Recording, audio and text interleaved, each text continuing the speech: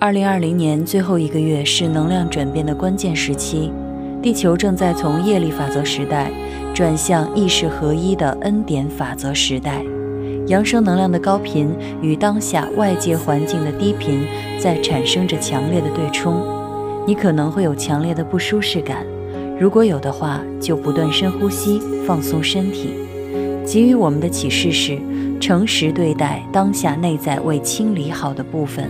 不断回来看自己的内在感受，与自己和解，安住当下。你需要不断地待在内在的和平之中，不与负面的人事物纠缠。可以多听高频的音乐，让意识与身体同步提升，平静自己的内心。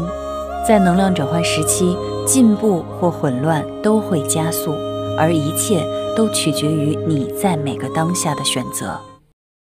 抖音。